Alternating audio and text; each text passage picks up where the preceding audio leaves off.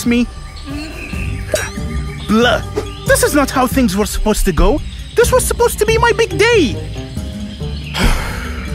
Let me tell you how I ended up in this mess.